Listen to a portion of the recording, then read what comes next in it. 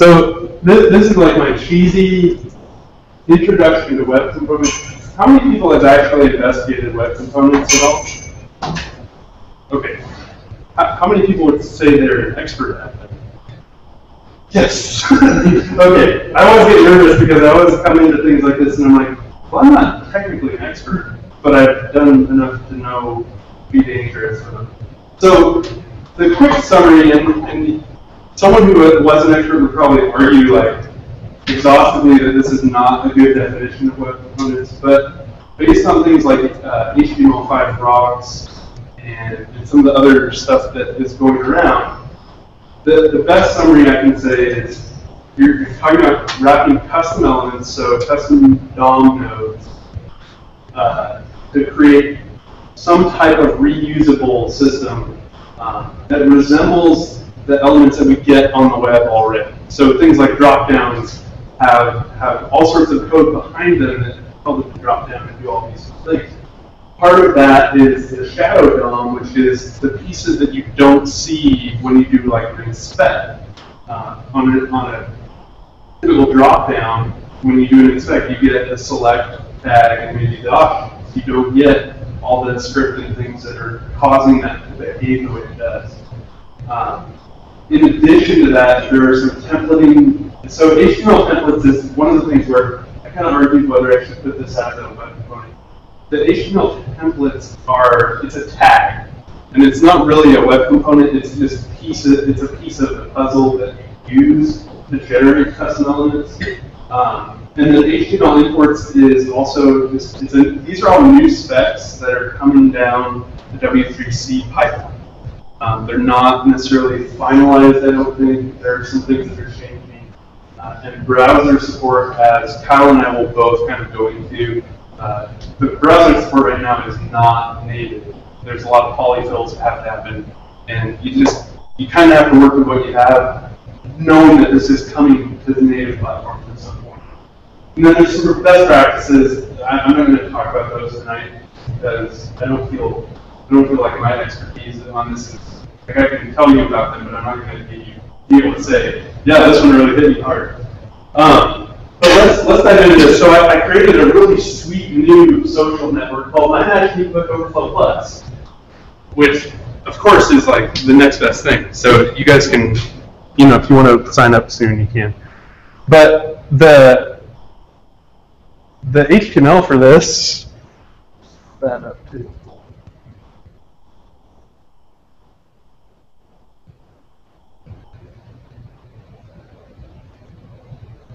All right. And I apologize, word wrap is on, so there's some weird structure here.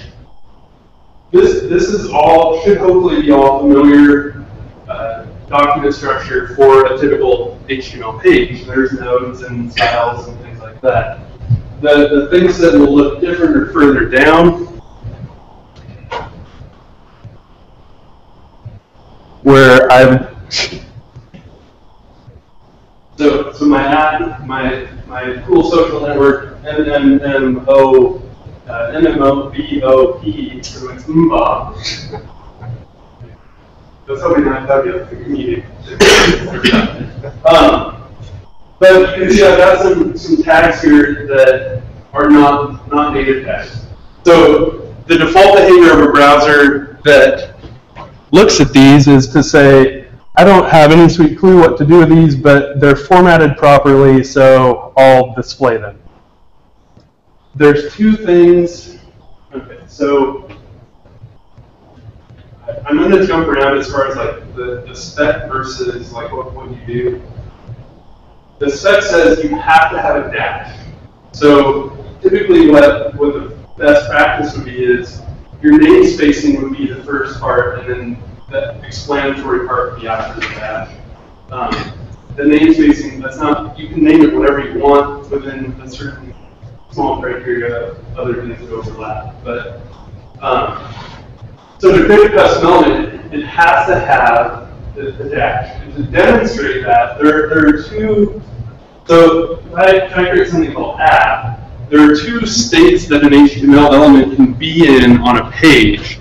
And Chrome a lot of this stuff is going to be in Chrome because I'm not, I'm doing this from what's natively supported, not with polyfills. Chrome has a, a, a pseudo, ele- a pseudo element called unresolved, and if we give unresolved um, like a significant border, red, some padding, and then let's just do display block. And yeah, that's good. We go back to this. Let's give it a little bit of padding too. Okay. So I hate live coding because I always mess it up. But so what you can see is this unresolved means that um, that the HTML element itself. Let's see if I.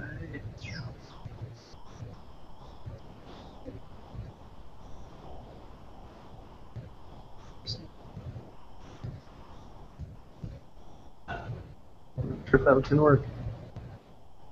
It's still hard to see though. Uh,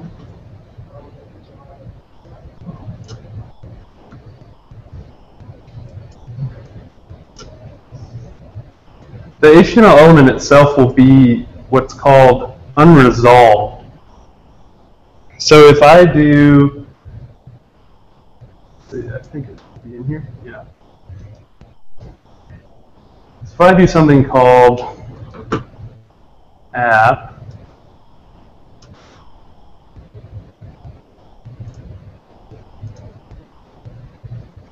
where is the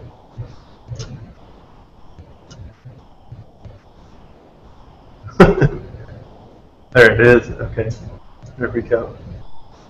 All right. So the, the prototype of that app element is HTML unknown. The prototype of one of my MBOP elements is HTML element. And so you can see if you, if you don't name it correctly, you're not going to be able to tap into the web component hierarchy and all the stuff that you get with it. If, if you get HTML element, means at the very least you've named your, your node the right thing. So you have a dash. That's essential. There's a little more in the spec, but it's essentially put a dash in it and it'll work. So in order to get these to be not just unresolved, we have to instantiate them. And we do that. And I'm going to put all this code up on GitHub so that it's available. We have to register these. And I'm just going to kind of cheat this is the pie I made beforehand. And we'll talk, we'll kind of talk, go over what this has in it. But So one of the nice things is that web components, custom components can be resolved before or after. So you don't have to have don't have to have the the declaration of it up front, like in the head, you can still use your script tag at the bottom and it will resolve as it, as it gets to the script. But you use a command called register element, and the, this is this is not what we'll do, but the register element takes the element name. Um, oh, I know one other thing. Name-wise, they all have to be lowercase, no. Um, which I did right here. That's really good take the node name, and then there's some optional parameters you can send in. But just to get, so you can see that once you register it, that unresolved goes away. Let's just go ahead and add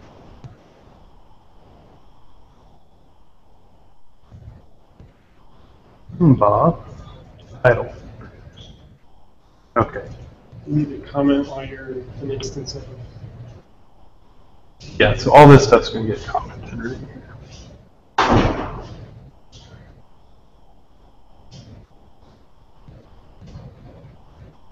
Okay. So know, this isn't blatantly obvious because it doesn't really do a whole lot. But now, my Matchmaking Book Overflow Plus, the, that title tag, is now no longer unresolved. So you now, essentially the browser now knows, hey, this is a legitimate element, you can do whatever you want. The other ones we can we'll we'll hit as we go, but um, okay. So now that we've registered that, the next thing is you may want to tap into some of the events that are there, and I've listed them here.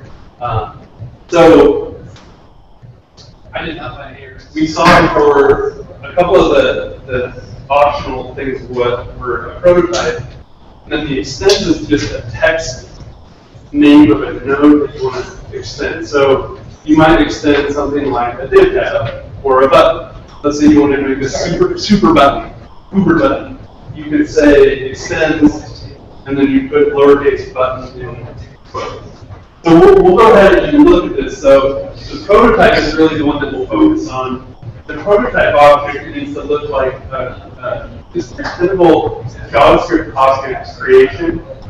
The prototype that it inherits from so it goes as the first parameter. And so by default, without without actually putting the prototype in, it will default to HTML element.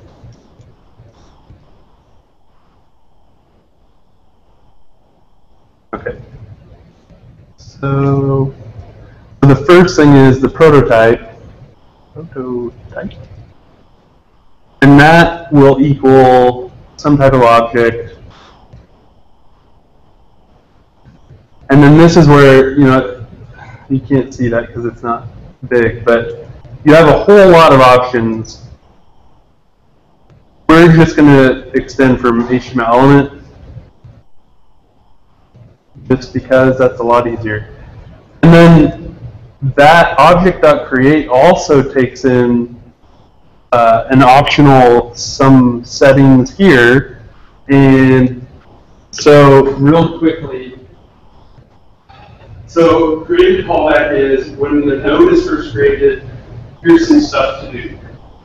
When attached callback is there, that's when if it's inserted into the document, it will fire. So these are all events. They're callbacks that happen when the node is placed on the page, when the attributes are removed. So this one, you could, you could actually do listeners for attributes on your. Lots of things that you could do. with Um, we're going to look at created callback. So when the node is placed on the page,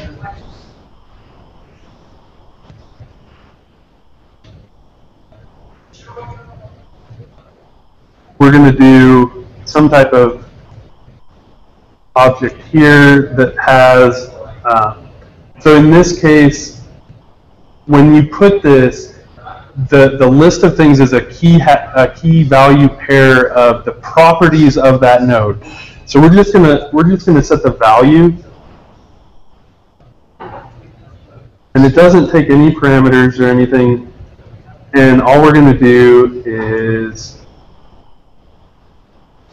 we're gonna we're gonna adjust the the inner HTML of our cool title. Once again, this is the pie I cooked beforehand. All right. And so all this is doing is when, when it first instantiates the element, it's going to say, hey, I need to set the value, and, and this function is going to run. It doesn't actually return, so the value doesn't get set. If you were creating like a, a Uber form input field, you could actually set a default value or do some type of scripting to set that value or other properties on that node. So this is real simplistic but but the effect is dramatic. okay, that was, that was at the point where I was allowed. So so now we've got our cool logo that combines all the cool social networking stuff. All right. How long did you take working out those styles? uh, how long is a weekend? again?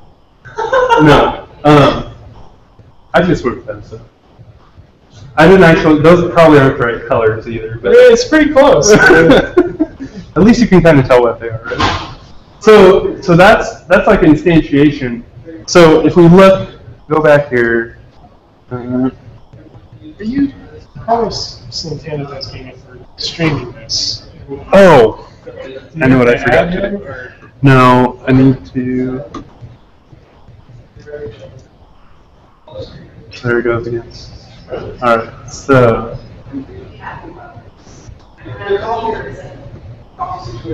I always forget where the URL ends up. Oh, here. Video.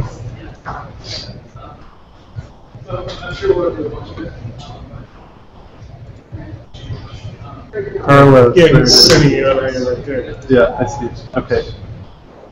We need. one.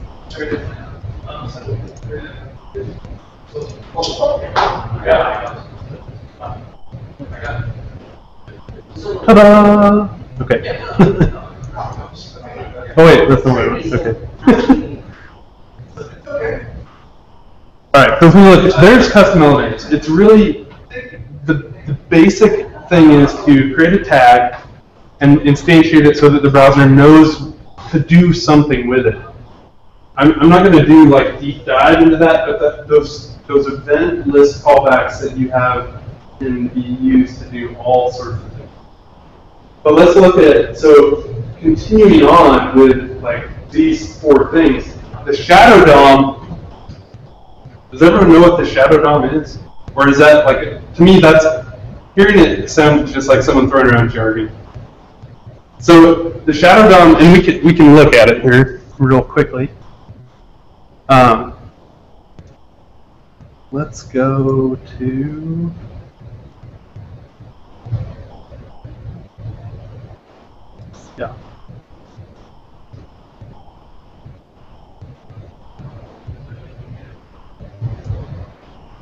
So the shadow DOM can actually be viewed there in Chrome. There's a flag that you can set to to see the shadow DOM. And okay, that's maybe not the best. The our project website has it. Ah, I bet it does. All right, we'll give we'll give you a, a preview here. Yeah, that'll definitely have some. So here's a template. Somewhere up the hierarchy will be shadow root. So shadow root is is what in at least in Chrome DevTools, it's what is encapsulating. That's your tag essentially. So if we scroll up a little, you'll see this is a paper button. So the the shadow DOM is it's the, the thing that kind of sits hidden from the browser that controls templating and behavior and things like that. It's a self self-contained HTML document without all the, the without all the doc type and all that stuff. It's just straight HTML, including script tags and styles and things like that. Um, It's completely isolated from larger DOM. Yeah. and and and which is we'll see is a really good thing. so in order to do this programmatically, let's take one of our other elements and let's see here. The only thing you have to add is this create shadow root, and then you're all set. So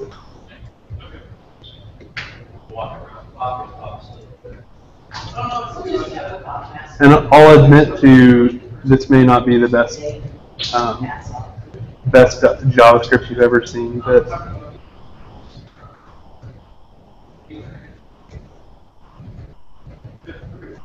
so up further we have the welcome, and the welcome has some name that I've dropped in there. Let, you know, you could imagine this is server-side code um, that populates that. And so we want to have a prototype.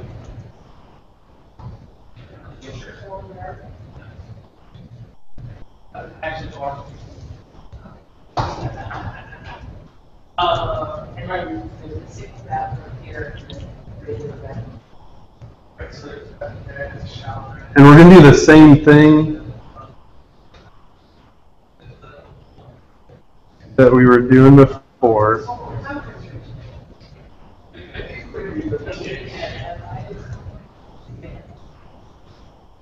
Except in this case, we're going to create a shadow root, and then we have to add that to the inner HTML. Or add the root to the element.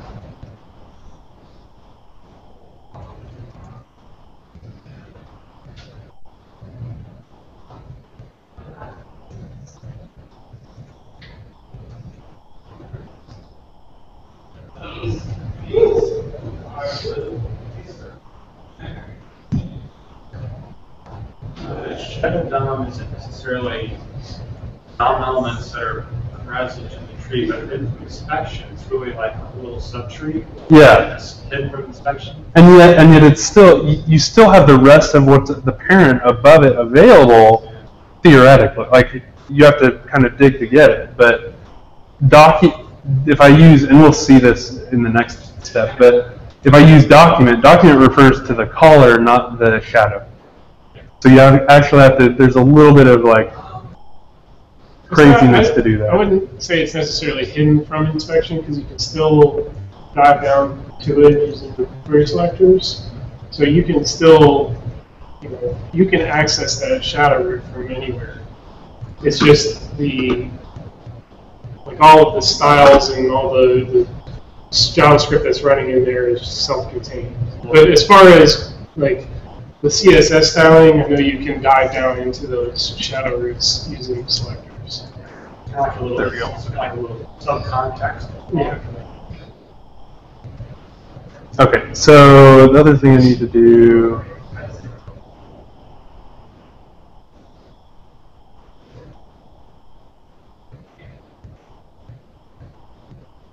So now, now that these are resolved, they're losing the styling that we had. So, um,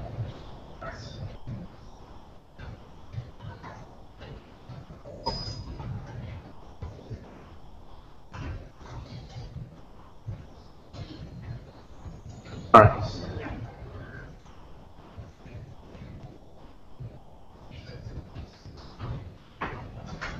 All right. So there, there you can see the node that I had just had name inside as the inner HTML. If I inspect, not that. Don't print that, please. So if I go look at the inspector, we'll see, okay, here's my welcome tag, and then inside it is the root. And this is the, the programmatically added content, which, so what's kind of weird is content in this case will, will render, do right? Yeah. It will render whatever the actual content of the node was. So it, it looks weird up there in the, the tree, but what it's saying is outside of the, the shadow is some text. That, that text is re- referred to in the shadow DOM as content. And so it just does a, you know, this is like a simple text replace almost of, I have a node and I just want to dump a value in and then whatever else is around that value, I know what it's going to be, it's templated or whatever. Speaking of templates, let's look at those. So th- any questions on that? I mean, this is, this is, this is like a very simplistic overview. So I, I hope, hope everyone can like leave and go read more of it. But that's what you end up with.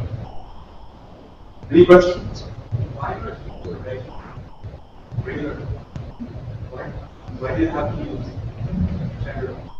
So you don't, in this, in this simplistic case, you don't have to. I mean, you could, I could have easily just said, I could have put like a name attribute on the tag and then said, hey, pull, pull from the name attribute on my own tag.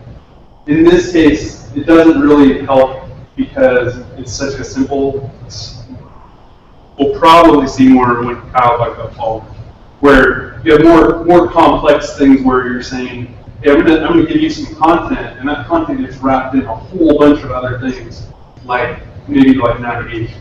So I give you like list elements, and then those are the content, but I'm gonna style and do all sorts of things. All right, so HTML tel- HTML templates are, as I said before, use the template tag rid of that here.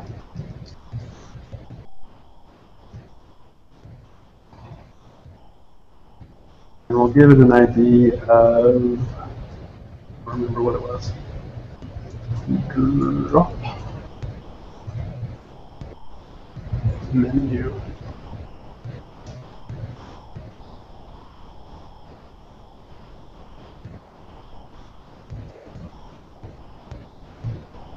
Okay. So in this case, we have a template that says, all right, I have content here that I want to do, and outside that, I'm gonna, I'm just, for the sake of argument, I'm just gonna say, all right, I want an H1 that says menu. All right, so now, once again, we instantiate our element. This time, let's just copy and paste.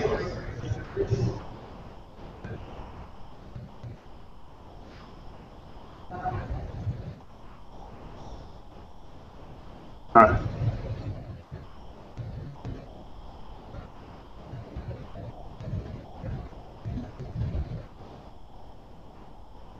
In this case, let's look at pulling in two, three. So in this case, we'll say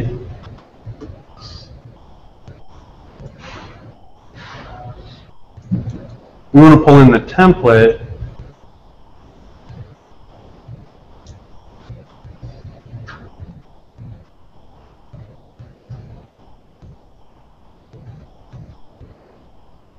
Oh, I already did. Okay. Uh, what do I call it? Alright,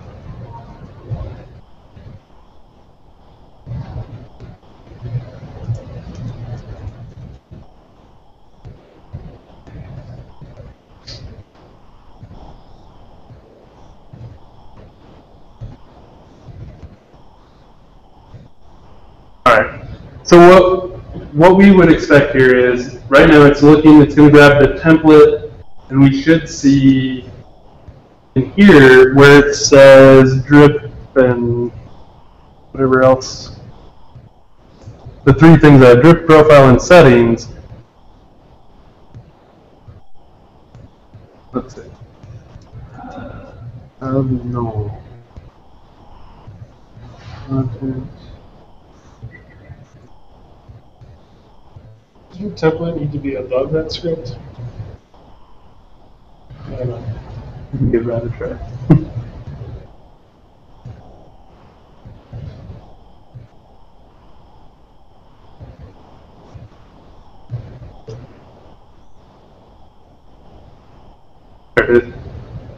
So we're still seeing the red red dots because these elements are, are custom elements. But you can see now the whole container of those has been defined, and then we've done some shadow DOM with that using a template. So the, the strength in templates is, is reusability. So if you're, if you're doing a component and you have specific templates that you want to pull in, you may not want to pull those in, like you may not want to have those static in the file that you're editing. You may want to have maybe something that you can import. All right, let's talk about that. Okay, so the last bit here Nice segue. yeah.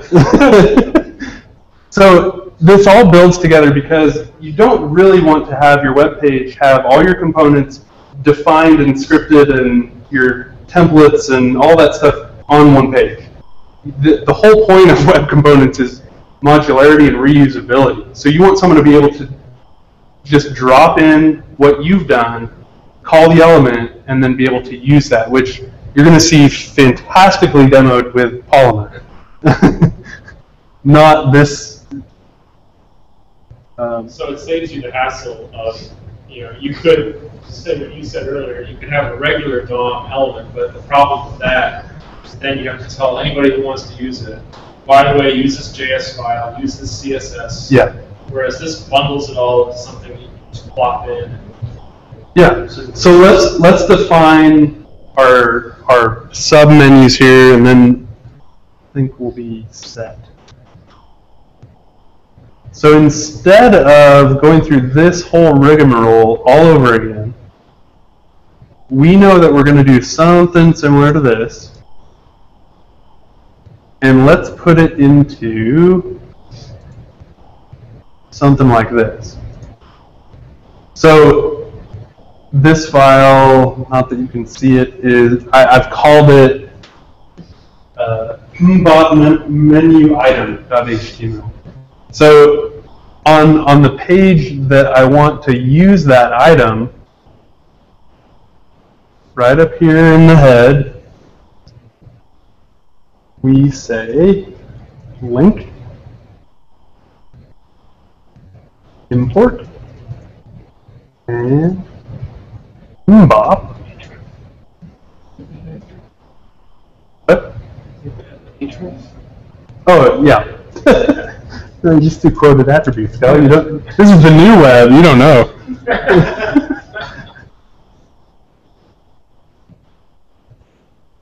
Must be in the nightly builds of Opera. Yeah, yeah. Everyone, everyone has a copy of it's what is it called? It's called Opera Next. Okay, so in this case, let's go back and look at that file because I'm pretty sure it's not saying the right things. All right, so we want to define an element called mbop. At the end of this, everyone's gonna walk out going. I'm surprised you didn't have that music playing at the beginning. No, the, the copyright issues. Oh. All right. So an unbought menu item, same prototype, same everything. We're going to look at a template. So if we go back to what we had before, in here, all I've done, I've said, all right, I just want to, I just want to have text in there. I don't want to go, I don't, I don't want my designer, let's say, to have to go in and, and put an anchor tag with a hyperlink and all that. I just wanted to put text, and then I'll, I'll deal with it later. So in this case, it, it makes it so that I can template that out and say, all right, whatever my content is,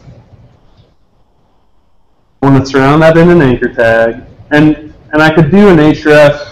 Let's say you had a, a you told your, your designer, yeah, include this tag and then put a, an href on the tag.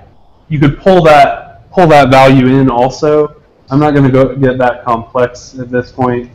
Um, and then let's say I want to do a, and we'll do orange is a really good color, but let's let's make sure it's bold.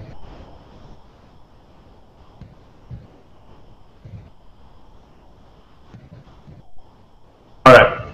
So I think we've got everything. Let's real quick here.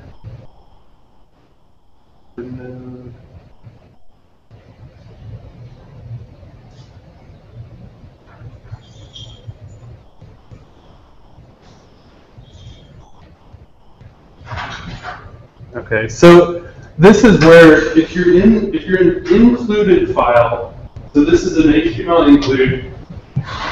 This is what, this is what I was talking about. Where if I reference a document, this that's actually the, the including page. In order to get the document that's calling me, I do document.currentscript.owner document. And so the script says, what's what's actually where where am I actually? And it says, okay, I'm in here. So then then this call will work because I'm, I'm referring to the local imported document. Um, the, and I, I didn't really mess around with this much. This you can't do this dynamically in this call. And it's it's something with scoping on the import where it's not going to actually refer to the right thing, or the current script doesn't get set until the, the import is done. And I'm going to just go out on a limb and say there's probably a better way to do this part than what I did, but I didn't know this. So in this case, now it's saying, all right, go in this document, grab this thing, and then we're going to put whatever in there. Um, and then do that. So, what we should see are orange. Now, there, there's two things to notice here. What color are the imported hyperref, the anchor tags? They're orange. What color are the ones at the top? They're their default color, right? Look how I defined it. Just A.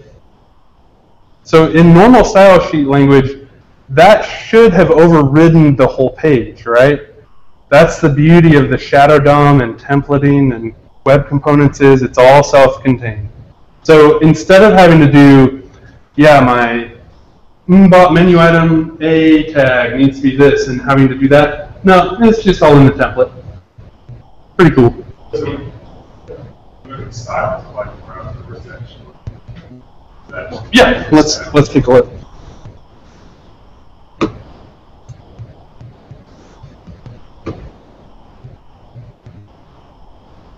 I can find. I think you can get this whole big area it. Oh, I've just been pulling the wrong thing this whole time. All right. So let's look.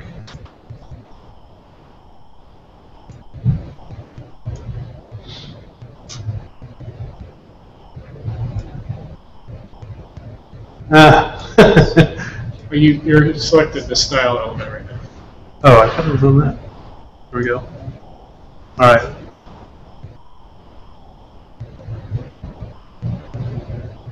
So utterly bizarre, but it's not really because because it's in the shadow root, it's going to look like it's just defined on on the page. Yeah. Yeah.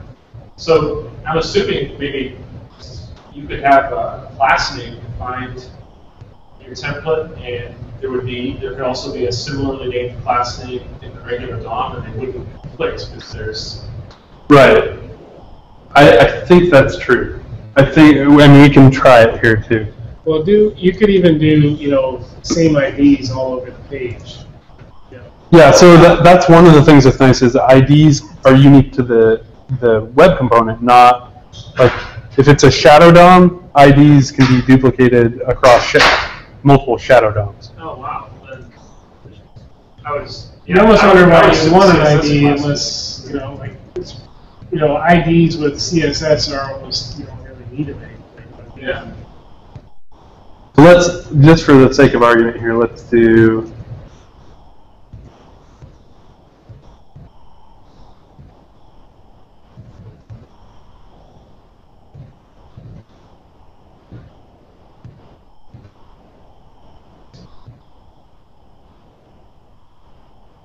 Were they already underlined? Did you underline something? Let's do. Let's do none. okay. It doesn't trickle down, like, there's no cascade from regular DOM to shadow.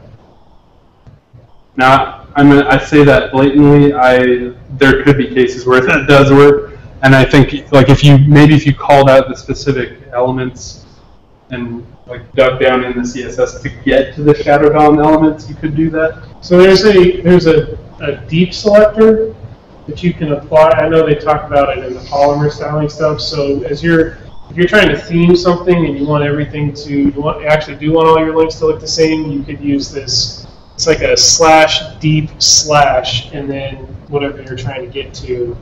And it'll, it pierces all of the shadow DOM and it'll style everything. Where does it, way. does it go on the front? It's, Oh, so from the parent document. Yes, I think if you do slash deep slash. Like that? Yeah, and then it's space. Oh. If you're wrong here. The selector is probably. I can show you. in the Yeah, yeah. All right. So that's, Does, I'm sorry, does it, but it, I'm assuming it doesn't go the other way. You couldn't deep, you couldn't. I don't know. slash- I, I wouldn't think so. It seems like it'd be kind of dangerous. I don't, Like, I don't think you would want to do that based on just, even if you could. No, yeah, I I don't Like, think you want to. the, the idea of what these are should be not globally Yeah, impactful. self-contained. Yeah. Yeah, th- Yeah, I think you answered, you can't have a global theming to apply to all. We could, so with the deep, The deep, the deep. deep you Okay, can, figure out the syntax. yeah. And I don't know if deep is, I. There's an override though. I don't yeah. know if deep is specific to Polymer and they do something in their CS or in their JavaScript that then identifies that in CSS and then does something else. I don't know. But There is a way to, to dig through the shadow root to go in. Yeah, because it seems like it'd be quite necessary to have that, because otherwise all these modular components have to keep repeating. Well, so the other thing, you- Code across multiple modules. The other thing you can do in here too is you absolutely can just do, uh, Okay, that's interesting. so you- then the browser would still only load that once. it yeah, it- it. Okay. yeah, yeah. Yeah. yeah, so, I mean, keep in mind, this is, since it's still in spec and not, there, there's probably performance hits that you could end up causing by doing things a little different, but that's legitimate right there. And it's not, it's not gonna, it's gonna download it once and then cache it. The same goes for the HTML imports. If you include it multiple times, for whatever reason, it, it will cache it once and then reuse it. Okay? Any other questions, comments? Chris? If you were not to style anything, would it just acquire all styling? Let's find out. I don't think it will.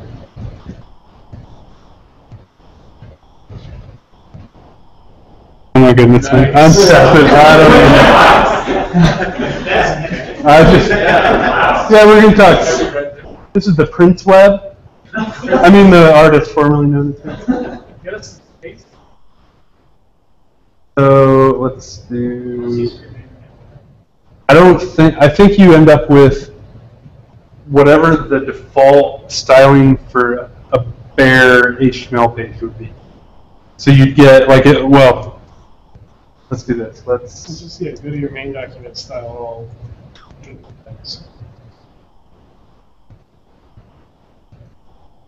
Yeah. I think you have. If you want to style your web component, you have to do it somehow. Dump it into the template or into the the style for the the shadow. Now, if if you weren't doing shadow DOM, then it, it is it'll trickle through. So here's the browser defaults. Right. Which I, you know, the concept of what you're doing, you're building something custom. You want to style. Essentially, it's taking the attitude. You want to style this. Go ahead.